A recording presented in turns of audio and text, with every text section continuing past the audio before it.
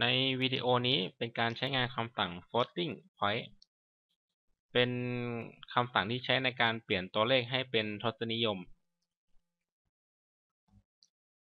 เริ่มจาก new project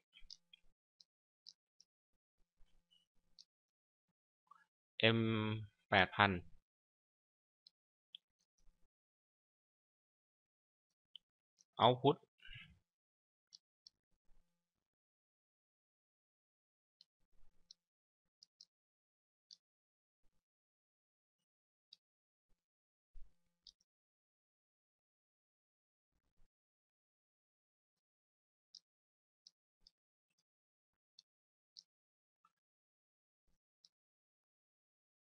ก็จะเปลี่ยนค่าตัว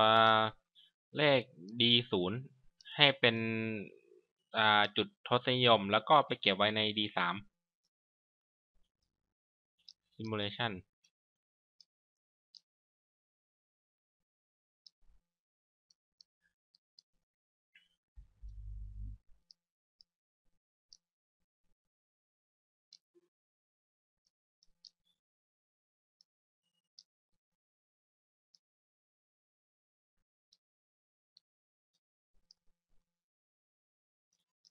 อันนี้เขียนไว้สำหรับลองเทสใช้งาน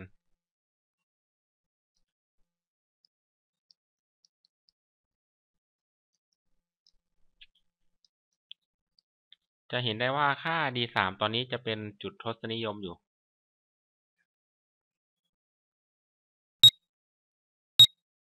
กำหนดค่าเท่ากับหนึ่งร้อย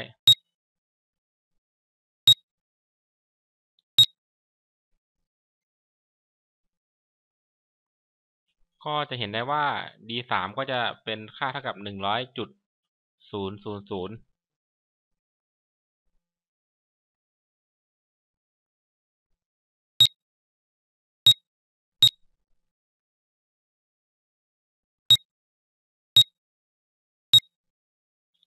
ครับ